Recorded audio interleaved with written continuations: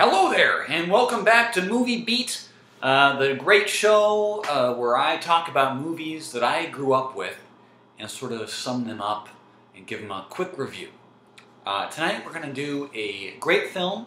A lot of people say it's um, one of the top four or five movies of the past 50 years.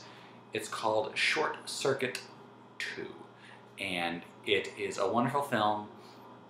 And assuming we've all seen Short Circuit 1, we know um, number 5 is alive. And he's a robot, and, and he's fun, and he dances with Ally Sheedy, and Steve Guttenberg is there, and he looks great, and still does, actually. And the sequel is sort of, um, we're taking it uh, from when, at the end of the first one, Ally Sheedy and number five kind of drive off and make out, probably. And then in this one, they're, I think they're married, and um, uh, Steve Guttenberg is out.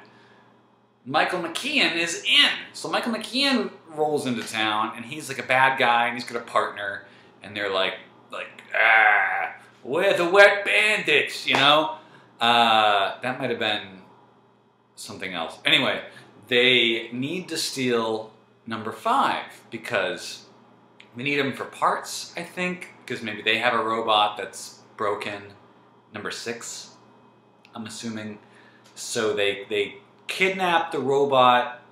I might be getting this wrong.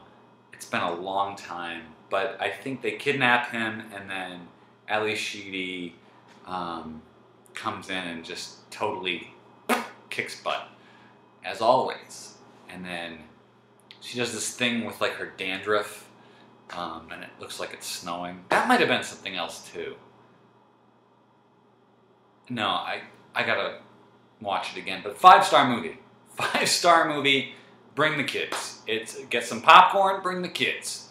Family affair. Sly and the Family Stone. They love that movie.